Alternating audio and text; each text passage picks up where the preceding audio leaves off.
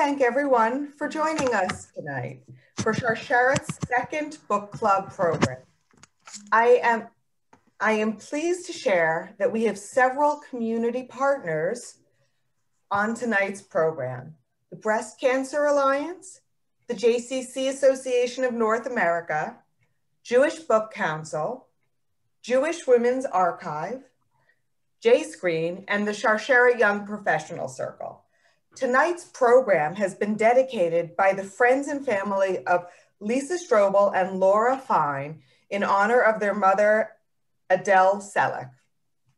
Before we begin, I have a few housekeeping details I'd like to share.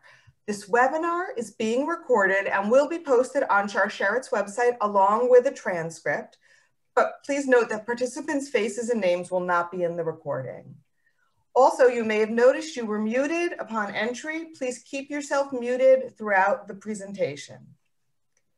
We actually received some really amazing call uh, questions from all of you, and we expect during registration, and we expect there'll be additional questions now. Please use the chat box, um, which you can access from the bottom of your screen, and we will do our best to address all questions. For those of you who are new to Sharsheret, and as a reminder to others, Sharsheret has been providing telehealth services to the breast and ovarian cancer communities for more than 20 years. And although we could never have imagined the world that we live in now, through our services, we have been preparing for this moment and continue to be there for each of you every day. As an introduction to Sharsheret's important work, I want to share a very brief video with you.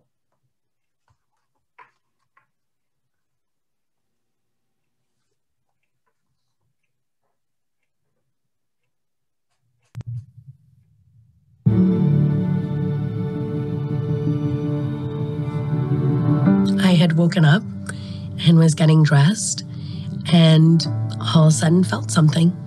And I went, Well, that doesn't seem right. When I first heard this is cancer, there's that horrible pit in my stomach and just an overwhelming sadness. I happened to take a at-home genetic test and found out from the genetic test that I had a lot of Ashkenazi Jewish DNA. I was several months later diagnosed with breast cancer. The side effects emotionally for me personally were far worse than the physical side effects. I could not imagine my life after the surgery. I didn't know what that was going to look like. I couldn't I couldn't visualize it. So I kind of had it in my head that maybe I wasn't going to survive the surgery. It was a no brainer that I was going to reach out to Sharsheret. I was eventually placed with Rachel, who is phenomenal. It's just having a friend who understands who I don't have to explain the lingo. What Sharsheret did for me and what the social worker did, she provided what's called a link. It's a peer support. We were on the phone uh, for about two and a half hours. It was like soul sisters from the very beginning. And it enabled me to be more positive going into the surgery. That's Sharsheret. That's what Sharsheret does. Sharsheret is that hug, and Sharsheret is love. My social worker and I speak at least once a month. I call her to tell her all the great things that are happening. I call her when I'm afraid when there's an upcoming test. Every time I get off the telephone, I feel better. I feel empowered. Sharsheret saved my life. Sharsheret gave me hope. It just gives you this very concrete but very safe place to go to. I knew that I was going to survive the surgery and I was going to be running again. And now I'm running for Team Sharsheret. Thank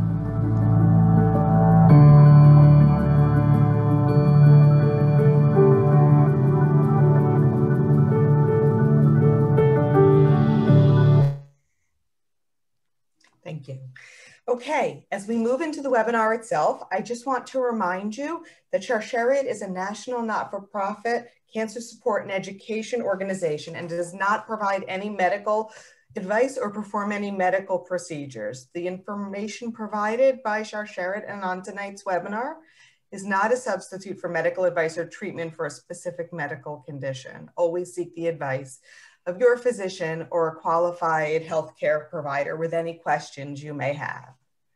Today, tonight, we have an amazing treat. Three amazing, inspirational women. The author of tonight's book, Beat Breast Cancer Like a Boss, Ali Rogin, is with us, and she is joined by two women featured in her book. Joan Lunden helped wake up millions of Americans for two decades as host of Good Morning America. She's an Emmy award winning journalist, a New York Times best-selling author, and a leading health and wellness advocate. In 2014, Joan found herself facing a breast cancer diagnosis, which she immediately turned into a mission to educate and inspire others about prevention, treatment, and survival. She did this by chronicling her experience in her book, Had I Known, and advocating for other survivors on Capitol Hill. She is the host of Second Opinion with Joan Lunden, premiering on PBS stations everywhere on January 30th in just a couple of weeks. And her latest book, Why Did I Come Into This Room? A Candid Conversation About Aging, quickly became a New York Times bestseller. Jill Kargman is a New York Times bestselling author of 12 books, including her most recent, Sprinkle Glitter on My Grave and the creator and star of Odd Mom Out, streaming on Peacock. After learning she carries a CHEK2 mutation, she opted for a prophylactic mastectomy. Her experience with melanoma and learning of the mutation dramatically increased her, learning that the mutation dramatically increased her risk for breast cancer taught her the importance of advocating for yourself in medical settings. And of course, Ali Rogin is a producer with the PBS NewsHour Foreign Affairs team, writing and reporting pieces for TV and the web. Her reports have also been featured on MSNBC, ABC, SiriusXM, and nationally syndicated FM radio shows. She is a 10 year veteran of DC's political scene, covering White House, Capitol Hill, and the State Department, although that's not what she'll be speaking about tonight. She covered the, the 2012 election as a campaign embed during the Republican primary, and then as part of Obama's reelection campaign press corps during the general election. During her senior year at NYU, she discovered she had the BRC, a BRCA genetic mutation and decided to have prophylactic surgery before her graduation. Beat Breast Cancer Like a Boss is her first book. So Ali, first of all, I am so grateful that you are here with us tonight and you brought two amazing friends that you made while writing the book. I'd like to start by asking you a couple of questions, then I will leave it to you to speak with Joan and Jill, and then we'll get to participant questions. Interestingly, both of the questions I have have to do with timing. So you learned that you carry a BRCA mutation while you were in college. Not only that, but you learned you inherited it from your father that actually brings up a lot of interesting points that people don't often realize, including that men can carry these mutations and pass those mutations down to male or female children. I guess when we hear breast cancer, we think women, but BRCA mutations impact risk not only for breast or ovarian cancers, but male breast cancer, melanoma, pancreatic, and prostate cancers too. And while we're talking about information that people are unaware of, tonight we'll also learn that it's not just BRCA mutations that impact risk, but mutations like CHEK2, ATM, PALB2, and others. But you're in college. Most people are worried about upcoming exams, the party, the next party they're going to go to, and you've had to digest some very difficult news. First, how did you do that at such a young age? And why did you decide to take action during a spring break your senior year, as I understand? That's earlier than many would choose to. Yeah, Melissa, thank you so much. And thank you to Joan and Jill for being a part of this, and obviously for speaking in my book. Their stories are absolutely incredible. Um, but I, uh, yeah, I tested positive for the BRCA1 mutation actually uh, I think it was when I was a junior in college. And my parents, my dad had actually learned many years prior that he was BRCA positive and he knew to get tested because his sister, my aunt, had ovarian cancer at a very young age and she uh, sadly passed away of it. So uh, they waited to tell me until they thought I could handle the news and make a decision that was uh, right for me. Uh, and so I immediately um, went to the NYU Medical Center and met with a genetic counselor, uh, got the results back a couple weeks later. And I did not act right away. I actually took a little time to sort of sit on the news, actually. I went and studied abroad the first semester of my senior year. And then I came back and uh, faced reality and um, met with uh, a surgical oncologist who's told me that more and more young women were getting prophylactic mastectomies. And I thought, this is a no brainer. I want to remove the ticking time bomb on my chest. I want to get going with the rest of my life, and I don't want to worry about this every uh, time I feel something in the shower. And that's really what motivated me to take action so early. I also thought about it from the perspective of not having to worry about taking time off from work.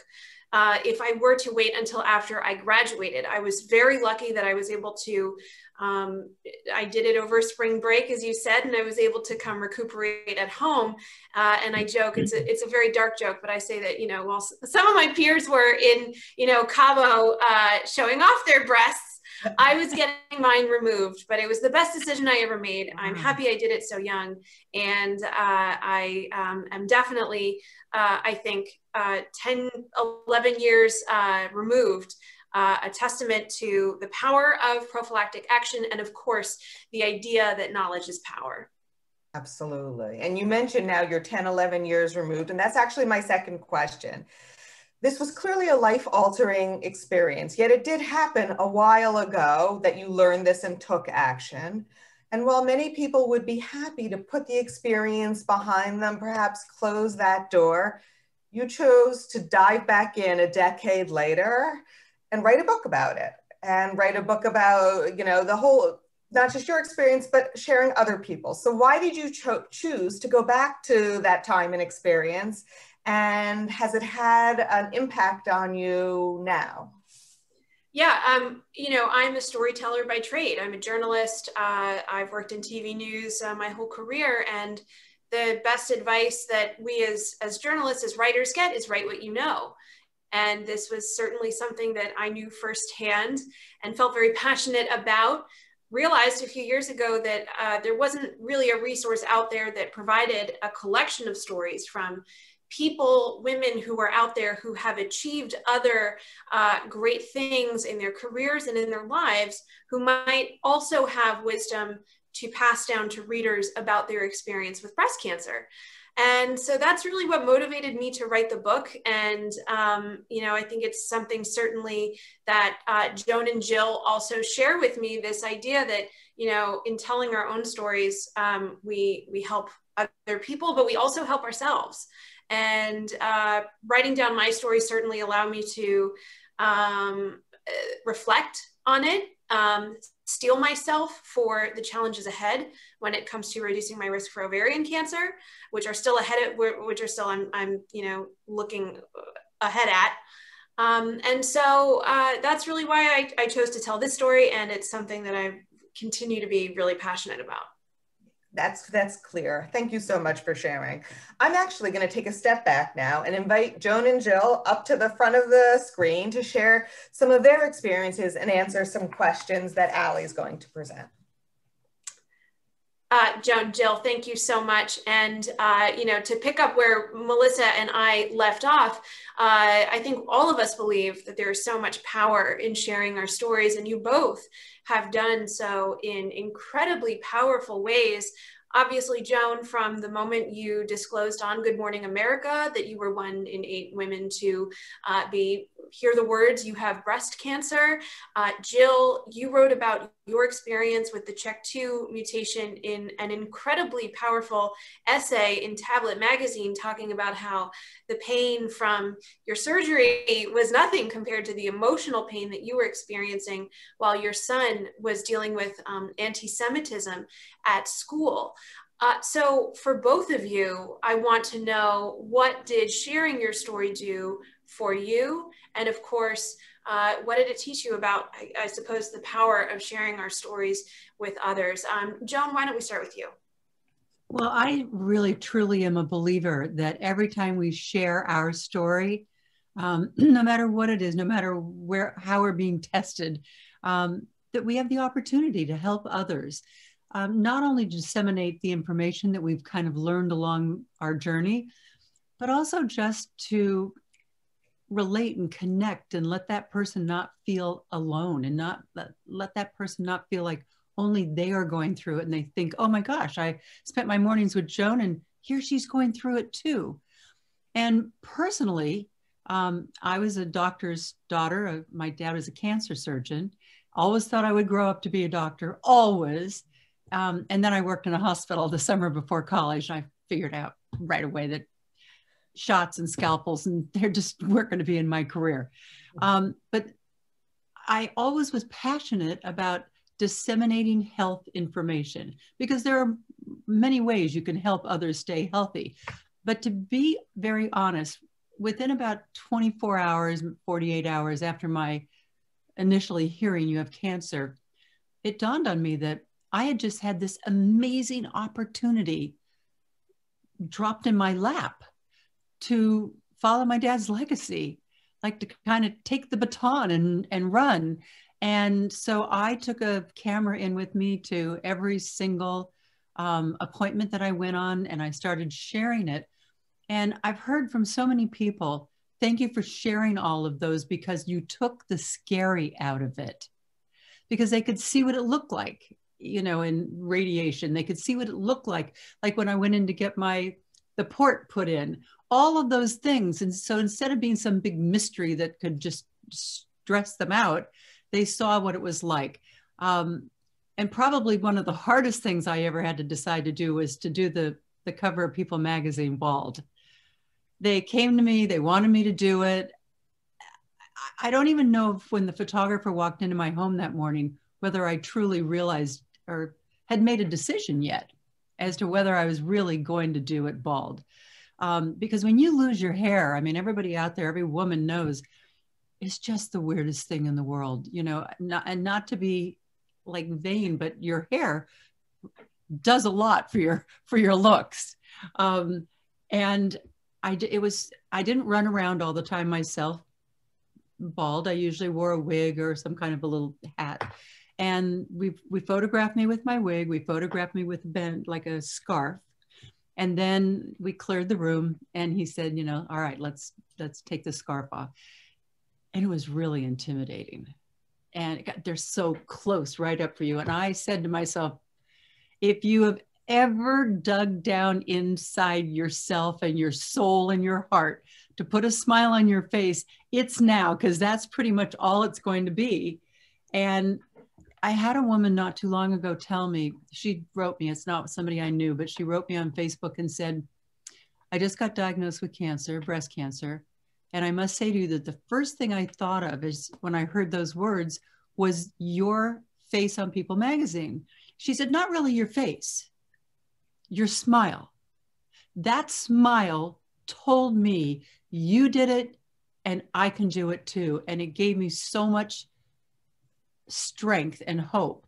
And that just makes all of this worthwhile. And so I think it's really, um, it's helped me personally and it's helped, I hope, many, many others.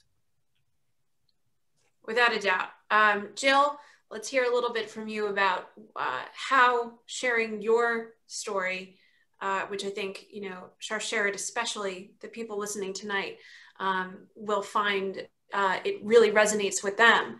Uh, how did that help you, and what have you learned since? Well, first, I want to say that Joan, you are so brave. And I remember that cover. And it's because of women like you that gave my Generation X, you know, group the ability to kind of do this. And you did pass the baton to us. And um, I can't thank you enough for that. And I do feel like that was a breakthrough image. And there is something just amazing about your smile and your just your strength as a woman. So thank you. Um, my story is different from everybody in the video pretty much only because i didn't have to hear those words. I had a lump and i didn't even feel it in the shower or anything. And i did the breast exams and all that because my mother um, has so much breast cancer on her side. Her little sister got it at 36, her mom died at 46. So I always had this sort of emotional sort of Damocles over my shoulder. And whenever people talked about breast cancer or mammograms, I felt like I was a time bomb even before I had any information. And ironically, Ali, I have the exact same situation as you, which I only found out subsequent to our phone conversations, in that the gene that I inherited came from my dad, not my mom's side. Um, I basically had a lump that the mammogram picked up. I started my mammograms at 35 because of my mother's side breast cancer history. And um, so they had that baseline younger than most. And then at, I guess I was 42, they said, You have something that we need to do a needle biopsy. So I did that. And then they said, Sure enough, it is a precancerous cell and it, it eventually will mutate, you know, keep, keep um, burgeoning. And it would be good to get a breast, can- uh, a BRCA panel done. And with the genetic counselor, And I said, Funny you should say that because I did it six months ago at Sloan Kettering, but I still hadn't heard the results. It takes a long time. And two weeks later, while I was waiting to do my lumpectomy, they said it would just be in and out lumpectomy, sleep in your own bed that night. Um, I got this result that I had a CHK mutation. And at this point, my parents hadn't been genetically tested. So I didn't know who had passed it on. But the second I had that information, I knew that I wanted to just rip the band aid off, so to speak. And in terms of sharing and your your question i had a friend who i confided all this um, to and she told me about this other friend of hers who wanted to be really private but we were friendly. So she said let me ask if i can tell you who it is. So then she called me and she's what i call my tits fairy. And we much like the um, the video that you showed we talked for two hours and we were very forthcoming about our you know i told her what i was worried about and she kind of completed my sentences and she's really good sense of humor. And we were just we wound up laughing a lot but she told she texted me all the things i would need for the double mastectomy. She gave me her surgeon and plastic surgeon for reconstruction and i just felt really safe that she had gone through this. I didn't even know it because she didn't want to tell anybody but she looks great. I saw her all the time, and um, she had the BRCA2 gene, and she just did it kind of sub rosa without anyone knowing. And I have a different approach. I feel very much in the same way you did, where you know you get support. I need support from my friends and my parents and everybody. So I felt totally comfortable telling everyone. Um, but you also touched on sort of at the moment, what two days after I got home, or two days after my surgery, the day I got home, um, my son had this little Nazi shit in his class who said, God sent Hitler to kill the Jews because you nailed Jesus to the cross. So he was really upset, and I flipped my shit. Like, I didn't cry at all about the double mastectomy. I had the drains with the pus and the blood, and I hmm. didn't even care. And then I burst into tears. So when I called my parents, my dad said, Well, maybe you you know i know you're emotional about this but don't forget you know you just went through this whole surgery and sort of like in sitcoms where they're like when they accuse the wife of being a bitch because she has her period i was like it's not because of my surgery. So it really didn't feel like tied to any of it at all. I mean maybe i was like a bit weakened emotionally because i was a little sleep deprived and that's a possibility but truly i wasn't that upset about going through it because i felt lucky that I didn't have to do chemo and radiation. I only framed it in gratitude that my quote journey was so much easier than most women's. So I really didn't get that upset about it. Um, it was I was truly more upset about these freaks in my son's class. Yeah, um, and the the way that you conveyed those emotions, um, I I recommend obviously uh, that article to anybody who is who is uh, thinking about doing prophylactic surgery because you know your story is is so powerful. And joan um, everything you've i mean i for you know putting this book together i watched some of the videos that you had recorded of you um, you know going in for your procedure to get your port inserted. And it is raw and real and in real time. And i can't imagine how many people you've helped by documenting that um, you know you're clearly uh, you know always thinking like a journalist uh, so it's really incredible it's um, Melissa, Ali, though, that I'm I'm the other way around as Jill because I feel I got off easy because I didn't have to have a mastectomy. Mm-hmm. Um, I only had to go through a year of you know chemo and radiation and no hair, but I didn't have to do all those subsequent. I didn't have to do a mastectomy. I didn't have to do reconstructive surgery. So I kind of felt like that I didn't have it half as bad as everybody else. Hmm. I think that's really a testament to how, you know, we all, uh, it, it can be really powerful to orient yourself in a, in a, in, in a way of thinking positively about things. I mean, you know, Joan, you would um, triple, was it triple positive? I'm sorry, you're triple negative. Triple negative. And I'll be honest, when they first told me that, I didn't know anything about breast cancer. I'd never had a friend that went through it or a relative. And she said, You're triple negative. And I thought, Oh, good. At least I'm negative to three things. And then she said, No, no, no. What that means is that you're not estrogen positive or progesterone pro- positive or HER2. Those are the three main kinds of breast cancer.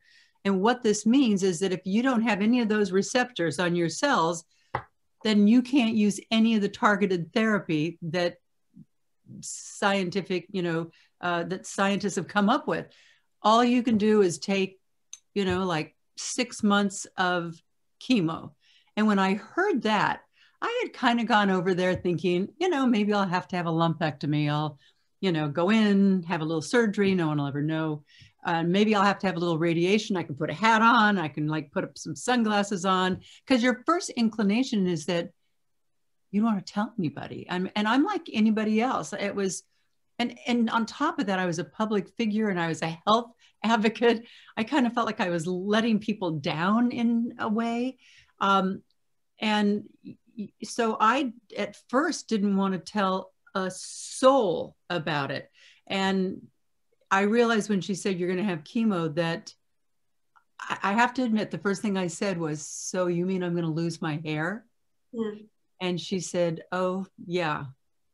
And I immediately called Robin Roberts, you know, who had my job from years ago and who had gone through all this.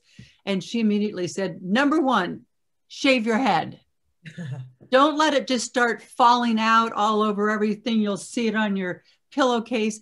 You do it to the cancer. Don't let the cancer do it to you. So I walked into a, a hair salon in Greenwich, Connecticut, where I live, not my normal one, because they would have talked me out of it. I mm-hmm. walked into one that I didn't know anybody and I said, I'd like to have my head shaved. And these women behind the counter looked at me like I was from Mars. But this hairdresser, a big, tall guy, he, he was standing there and he said, Follow me. And he took me back into the back and he picked up the razor, the electric razor, and like put my head down and started going this. I said, Wait a minute, wait a minute. I got to have this on tape. So I got my phone and, and started uh, videoing it. And it's the weirdest thing because we've never gone through that. And you hear this this buzzing and it's vibrating and it's right by your ear. You think it's going to cut your ear off.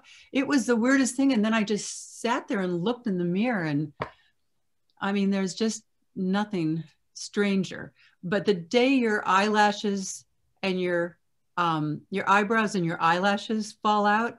I, I went on Good Morning uh, on the Today Show. Sorry, I work with the Today Show. Um, when I went on the Today Show to uh, be uh, on with Women's Breast Cancer Day in October, I the night before I washed my face. This is about three months into my treatment.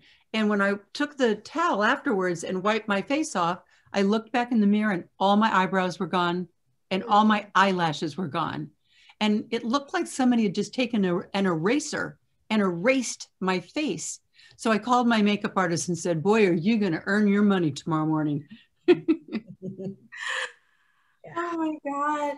Um, that's incredible. And I mean, we could, we could talk for hours about this. Um, I do want to, before we open it up to questions, I want to touch on another thing uh, that both Joan and Jill talk about in the book, which is uh, when you're going through something like this, obviously your doctors play an, a very important role. And uh, you both, I think, have had really powerful experiences uh, in terms of the patient doctor relationship that I think it might be beneficial to spend a couple minutes talking about. Um, Joan, in your case, as you mentioned, you were the daughter of a physician and you grew up in an atmosphere of putting that doctor on a pedestal and you do not question the physician. Yep. And uh, I know that your daughter was the one who uh, had to tell you, no, mom, we need you to go for a second opinion. You need to talk to somebody else. And that opened up uh, a whole nother Pandora's box for you. And it was Jill, so antithetical to me to do that, to question what a doctor tells you. But I have three older daughters, Jamie, Lindsay, and Sarah, all huge fans of Jill's. And um, they just said, uh-uh, uh-uh. In today's world, there's so much new treatments coming down the pike all the time. You've got to get a second opinion. The problem with getting a second opinion is that sometimes you really get a second opinion, like a completely diverse, you know, nothing like the first one. The first one wanted to do the standard of care, you know, surgery and ACT. And the second one, I, the other one I went to wanted to do this brand new, at the time it was really new, uh, called neoadjuvant, which means you do your chemo first and the whole idea, uh, and she said, because if the chemo really works on you, it could completely take away completely your cancer. And then your surgery will be minuscule. If I had done it the other way, I would have absolutely had to have had reconstructive surgery. But I went with the chemo first, and they also flipped it. You know, I did the T, the Taxol first, then the AC. I added something called carboplatin, which the second doctor said, no, no, no, no, no, that's like way too uh, strong and serious. I said, I have a strong and serious cancer. I have triple negative. So I'm like going to send in the Army, the Navy, and the Air Force, you know? And so I took the new treatment. And by the time we got to the um, surgery, I had had a 95% I didn't have a complete pathologic response, but almost. Um, so my surgery was very, very little. That's why I ended up not having to go through all those reconstructive surgeries. but go. I'll tell you, I did go back to my doctor, my original doctor, the gynecologist, and said, I read him the Riot Act because I didn't realize that I had uh, dense breast tissue. And, you know, I was, when you go to get a mammogram, you, you hate it when they come back and they say, we'd like to have some more pictures. Like, really? And I would always say, why? Did you see something bad? And they would all say the same thing. Nah, it's just hard to see anything because you have very dense breast tissue. And I was like, okay. I didn't know that that was something I should know about. And the fact is, is that I had a 3D mammogram the day of my diagnosis, and I got a clean bill of health. And I could have walked out of that radiology lab right then and there. And I had triple negative. It's an incredibly fast growing, aggressive cancer. If I had done that, I pr- might not be here with you guys today. But thank God I had gone on an interview. I was interviewing Dr. Susan Love, a breast cancer expert. She wrote the breast cancer book and we just were you know, like chit chatting, you know, while the they were setting up lights, and I told her about how this always made. I said I find mammograms so stressful because they're always calling me in for more pictures. And when she heard me say very dense breast tissue, she said, "Well, wait a minute, wait a minute. Do you also get ultrasounds?" if I hadn't gone on that interview, that particular interview, I would not have known to get that ultrasound. Where, you know, 10 minutes after having a clean mammogram, I had an ultrasound and they said, You have breast cancer. So I think it's so important for women to understand what dense breast tissue is. And every woman, just like they say, know your numbers, you know, your resting heart rate and your, you know, your uh, blood sugar level and all that. You also need to know your breast density. It can be one, two, three, or four. And if it's three or definitely it's if it's four, you need to have an ancillary test. Um, that's really important. And all of us should do our self exams because that's the only way you know what your normal is. And if you know what your normal is, then I can't tell you how many women tell me the co author of my book on breast cancer went and got a, a clean 3D mammogram. A month later, she felt a lump. And sure enough, she turned out to be BRCA positive and had a double mastectomy and reconstructive surgery. A lot of women find their own breast cancer. So we all have to like, you know, put on our big girl pants and do that test and make sure that we understand. And if you're just lumpy and bumpy, like some women are, that doesn't mean that that doesn't mean you're you have dense breast tissue. You can't feel it necessarily. You have to have a mammogram in order to find out. But ask. Exactly. And it, it, it is so critical that we all act as our best advocate when we're meeting with the doctor. And Jill, uh, I think you really embody that experience because you went through a horrible uh, chapter with melanoma before the breast stuff even factored in. Uh, and I know that that taught you a lot about, you know, empowering yourself when you're talking to a doctor who's trying to push one thing or another on you. So can you tell us a little bit about that experience? Yes, and actually melanoma is part of the CHEK2 umbrella. Yeah. So it was all connected to the to the breast stuff. Um, basically, I had a a mole on my upper upper thigh where the sun don't shine, and I'm very pale, and I never go in the sun. And um, I this it just kept bleeding, and I was pregnant with my third child and every time I would get out of the shower, there would be blood on the white towel from this mole, and there would be like a stream of blood. So I went to the dermatologist. I have moles all over. There, I'm like covered. I have hundreds, and he he's apparently like the best, whatever that means, but like reputable Fifth Avenue office that's always packed, and you come in like a factory 15 minute slots for hundreds of dollars, and he kind of you know, does his perfunctory thing with the loupe. And he said, It's benign. It's fine. Don't worry about it. And I said, Okay. So then I went back six months later for my checkup and I said, You know, this mole keeps bleeding. And he goes, Well, you're pregnant. You know, your gums are bleeding. You're pregnant. It's normal. So I said, Okay. So then I had the baby and I went back again six months later and I said, It's still bleeding. And he said, You're being hysterical. Oh. And word to me is so sexist because it's the Greek root of ooster, which means uterus. And I just was sort of annoyed. And I wondered at the time if I were a man, would he have said that to me? So after my son was like one or one or one and a half, I said to him, um, I'd like to get Botox right here in my 11s because I had like a furrowed brow. And he said, I don't inject that. I, I don't you need to get what I call a scumbag dermatologist. Now, dermatology, everyone thinks of it as vanity and beauty, but I'm here to save lives. So I said, All right. So I talked to my friend and she goes, Go to this cool mom. She's really sweet. She has three kids. She's not a scumbag. She's a super nice, down to earth lady. And I went to her. She did my Botox.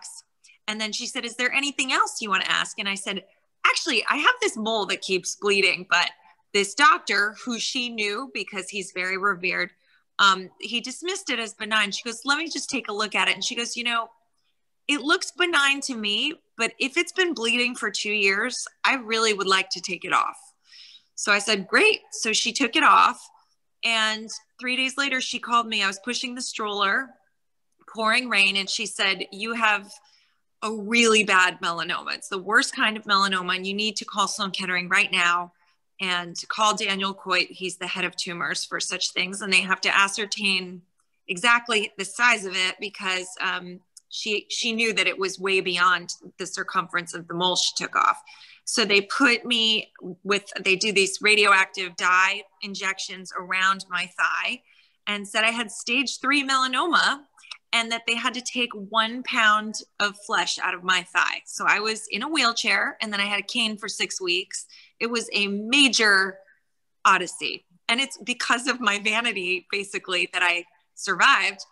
And um, you know, here was that first doctor being like, I save lives. I'm not a I'm not a Botox scumbag dermatologist. Meanwhile, I would have been dead because when I met later with the Melanoma Research Alliance founders, they had heard my story and I was only 34. So it was very unusual to have that at that age.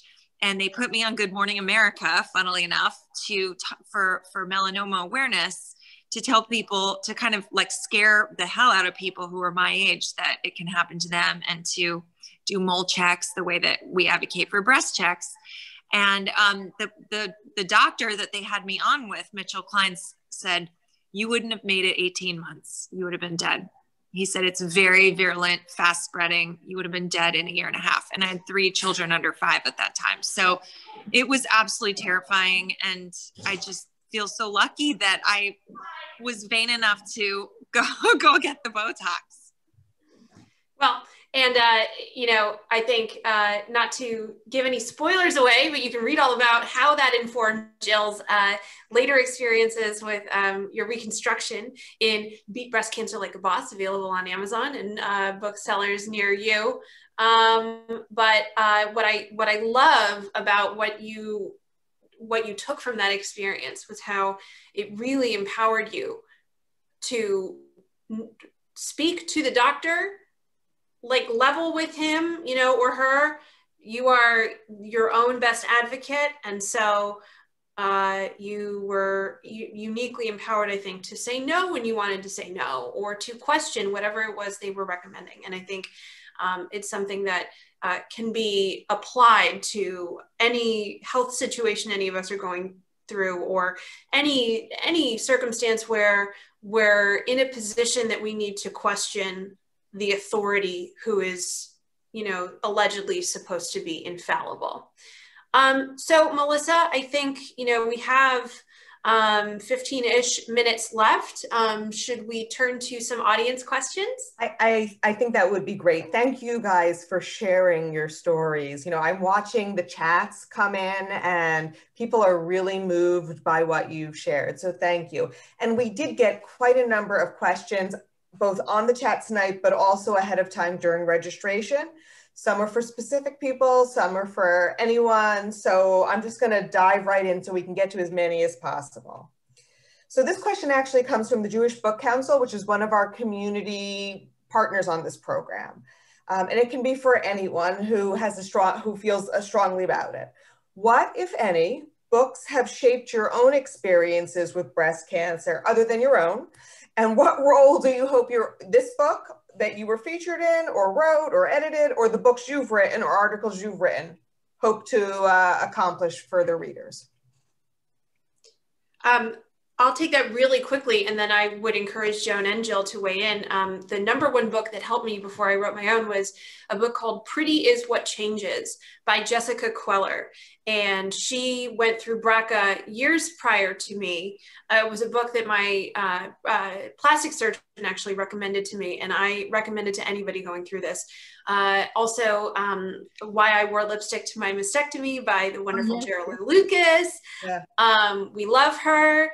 Uh, that was also a great inspiring book. And of course, everything by Joan and Jill. And I would say that uh, in terms of what I hope my book um, helps people with. Um, look, I know the title of the book is Beat Breast Cancer Like a Boss, but I make very clear in the introduction that I'm not talking about beating as meaning going into remission and remaining cancer free because that is one of a number of outcomes uh, that can happen. Um, some people are living and thriving with metastatic breast cancer, as you saw in the video earlier. Uh, some women have had multiple recurrences.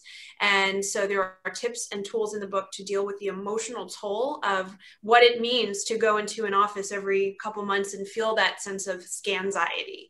Uh, and so uh, that is something that I hope is imparted in the very beginning of the book so that anybody who thinks that, you know, I'm talking about like getting rid of breast cancer and go getting on with your life, that's very rarely how it actually happens. Mm.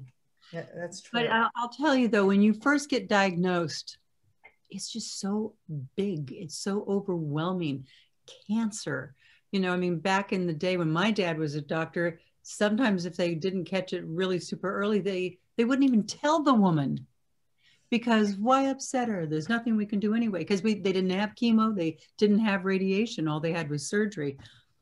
But I can say now, now that I'm here as a, a survivor, as a thriver, which I, I like both of them, um, that there is hope and light at the end of the tunnel. Here it is. I'm here. I went through a year. It was a year of my life. Yeah, it was a crummy year.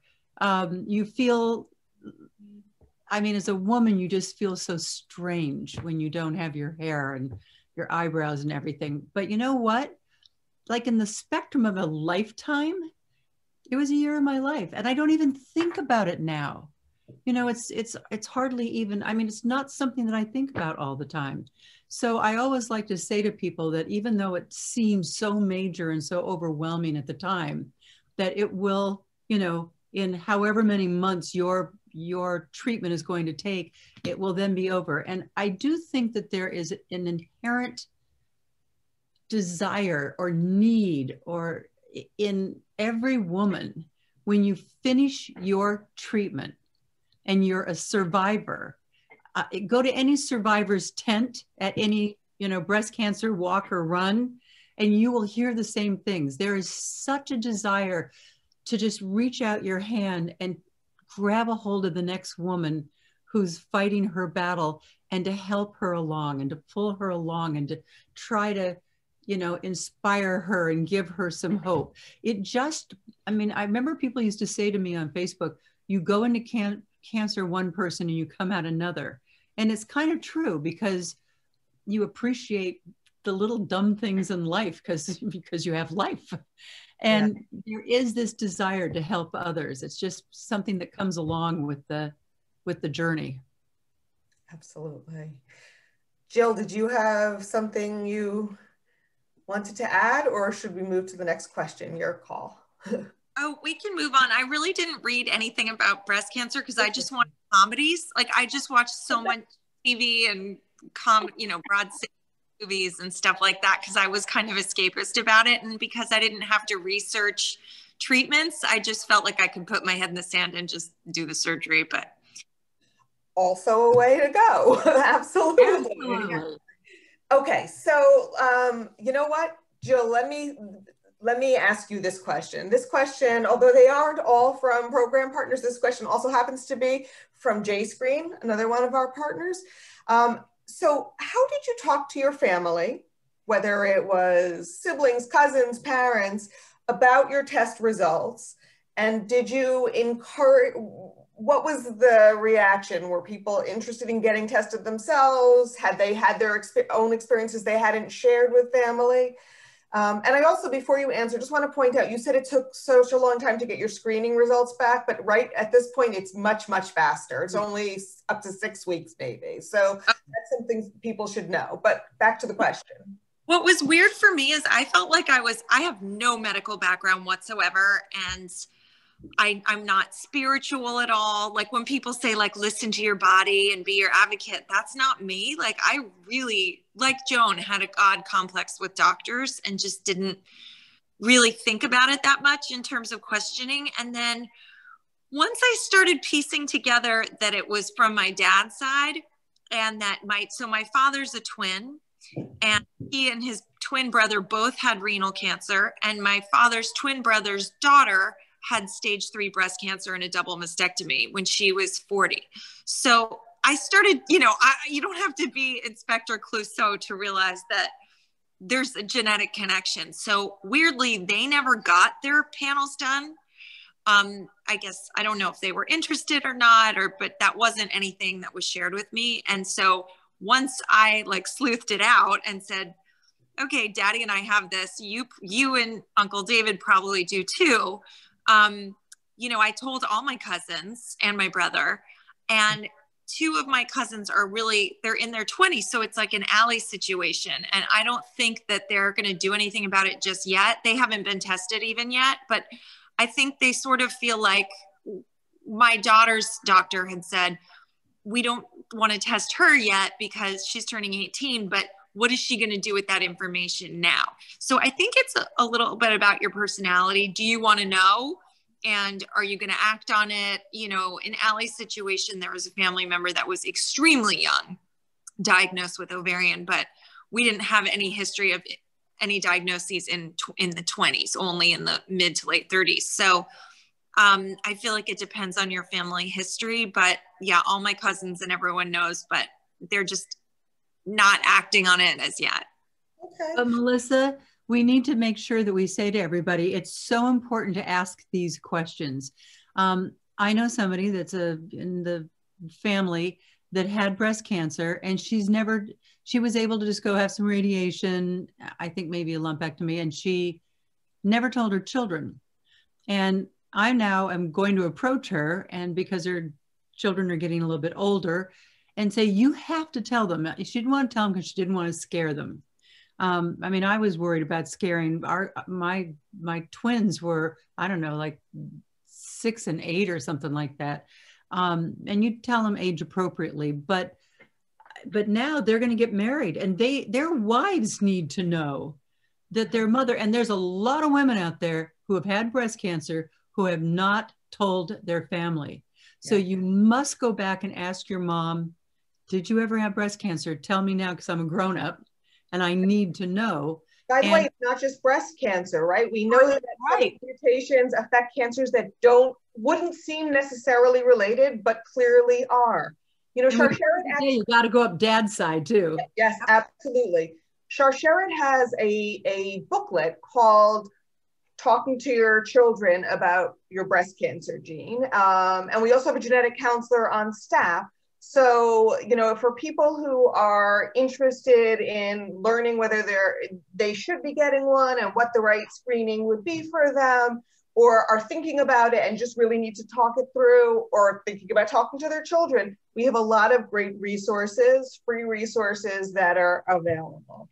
All right, I'm cognizant of the time, so let's move on. Um, you know, Joan, you actually alluded to this. So somebody asked, the, the word survivor, has a bit of a controversy surrounding it. Some really embrace it. Some choose to be survivors the day of their diagnosis. Others choose to be survivors only five years after their last treatment. Others shun that word completely and talk about thrivers. So I, wonder what you think of those words and what those words mean to me. And somebody actually asked this evening if um, how you react when people ask you if you're now cancer free. Yeah, well, I you know, once you tell the world, in my case, that you have cancer, the one thing that happens is that everybody that sees you, that's all they talk about. You know that, and you just have to know that going out. And people ask me if I'm cancer free, and I happen to, and once again, I feel like I'm so much luckier than so many other women who have to take medications, you know, ongoing for decades or the rest of their life. I had triple negative and you don't take any medication after that. And because it is so aggressive and so fast growing, um, pretty much after three years, if it hasn't come back, and after five years, and I'm now six years NED, I saw somebody who just said, Yes, Bonnie, you just said uh, been 12 and a half years NED. That's something I learned from all the my my BFFs on Facebook that I don't really know, but gosh, I learned so much from them, and they taught me a lot.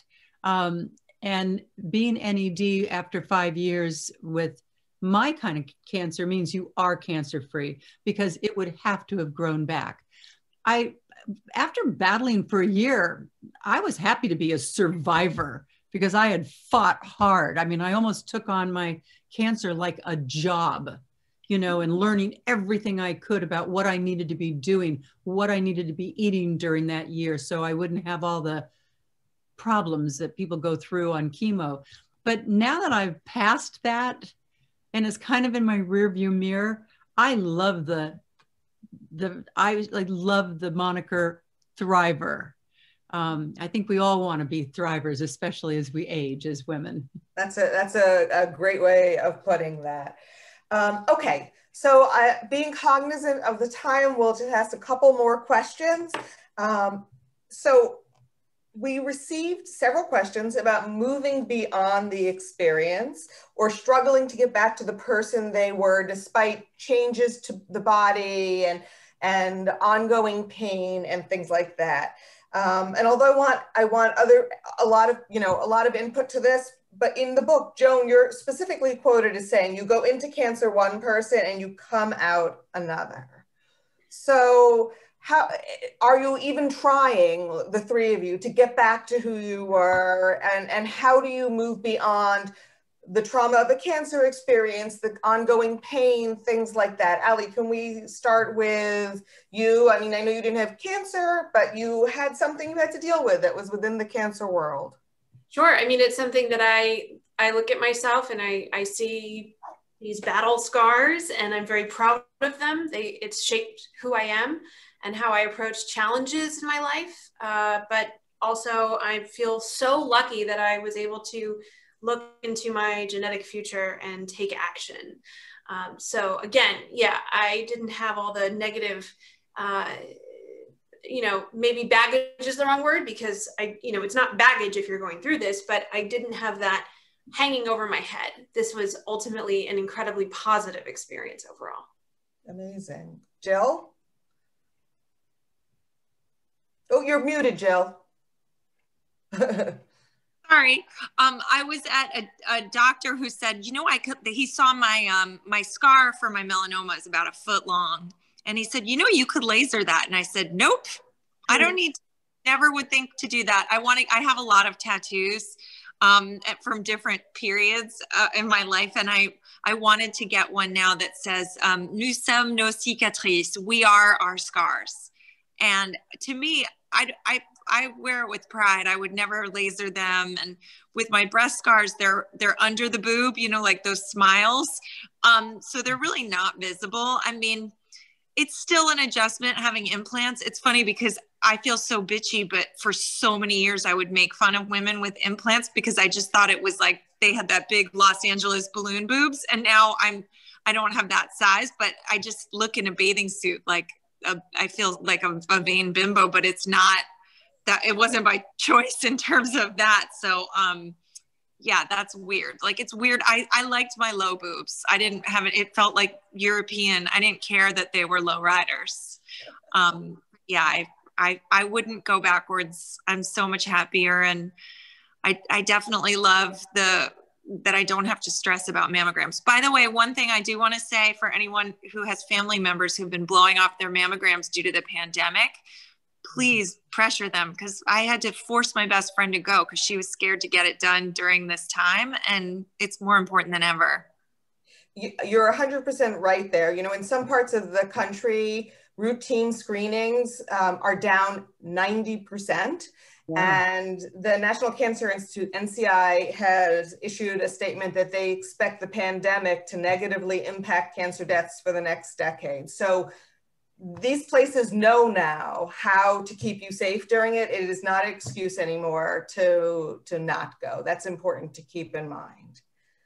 Okay, um, why don't we finish with a question from the Breast Cancer Alliance? So I think this is a great place to, to finish because um, it's a great parting message. So if you could name one thing, and I'm going to ask each of you, one thing that got you through, a mantra, a particular form of exercise, a message you kept repeating, an activity, a person, what was it that was most helpful to you?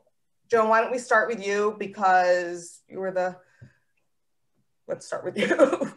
well, I think that um, I focused on what would make me survive the best and what would get me through it, what foods I should eat, the fact that I try to do something, even you know, every day I was not feeling well enough to really go work out, but I would even stretch. I did something. I mean, I really um, took it on and said, I, like you say in the book, Ali, I, I beat my cancer like a boss and I became the boss of my cancer treatment. And, you know, I remember the last day of my treatment, I said to my, my oncologist, are we just supposed to like walk out of here and assume that we got it? And because I'm hearing from everybody like on Facebook, like, do you have the fear of, of you know, uh, getting it again? And he said, oh, you're going to follow the wise words of the great philosopher Wiley Coyote. I said, what? He said, you know that cartoon character that would run off the edge of a cliff at like 100 miles an hour? Well, he was never in trouble until he looked down. Mm-hmm. You just keep your head up. You expect to live a long, healthy life. You did everything that you could to beat this and just don't look down. And that's how I'm living my life that's that's great. That's a, a great way to be living your life. Uh, Ali. Um, I uh, highly recommend anybody going through this. Number one, I think this is something, Jill, that your um, Tits Fairy also recommended was the marsupial patch pouches. I actually did not have those for my reconstructive surgery, but I have since suggested to other of my friends who have done this to get them. It, it it allows for the drains to not like hang off your body which is to me that was like the most discomfort because i had the toradol to deal with like the incredible after effects of the surgery but it was the drains that um, irritated me for weeks after.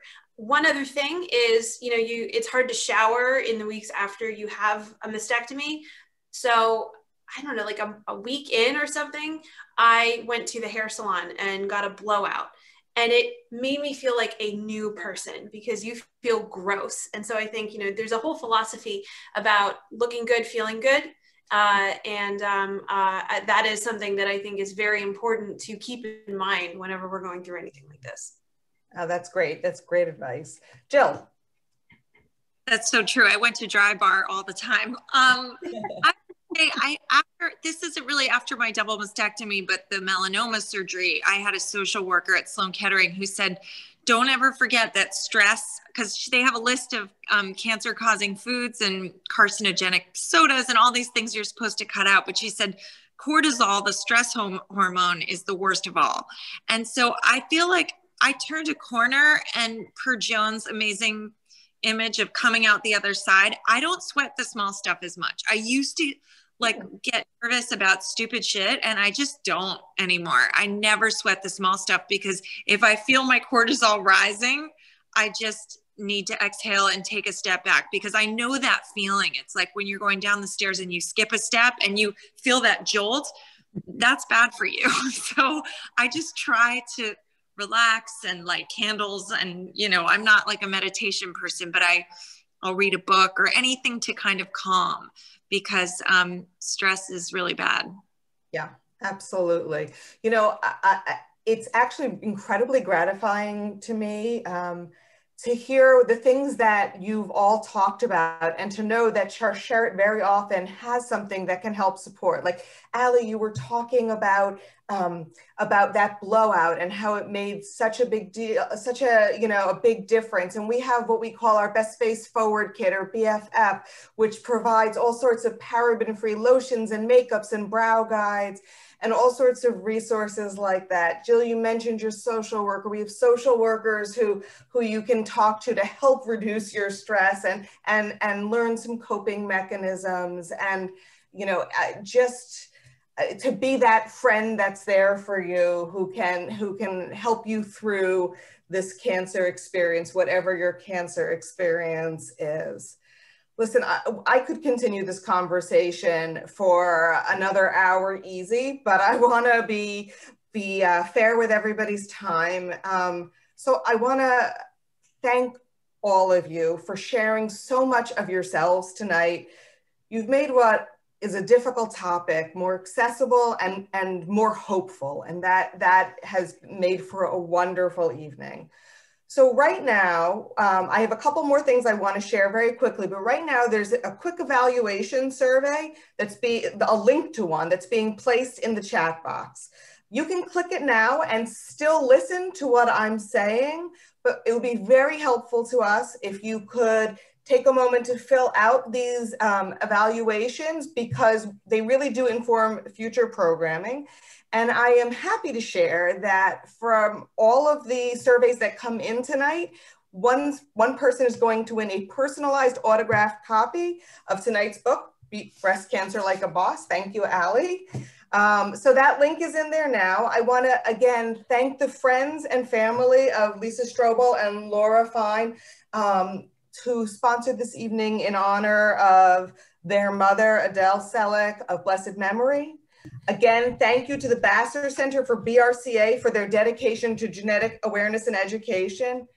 And again, I want to thank our community partners, Breast Cancer Alliance, JCC Association of North America, Jewish Book Council, Jewish Women's Archive, J-Screen, and Sharsheret Young Professional Circle. As we close, I want to remind you that Sharsheret's team is there for you and your loved ones during this time. We provide free support and programs designed to help you navigate the cancer experience. Again, all free, all completely private and one-on-one. -on -one. Contact information is across your screen right now.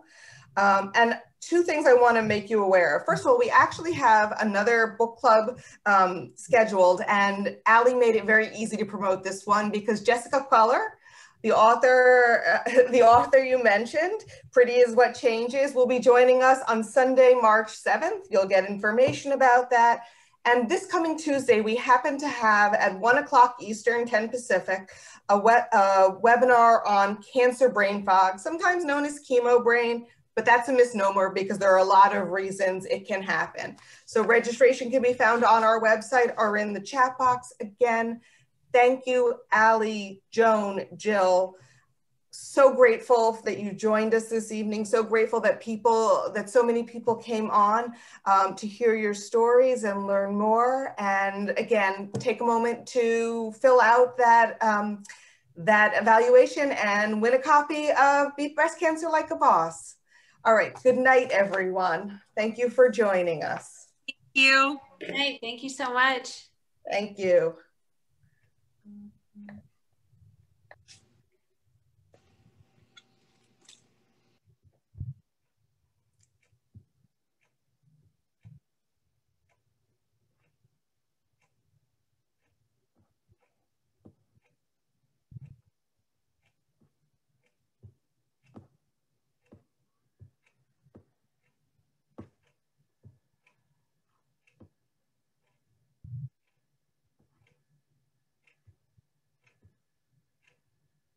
Mm.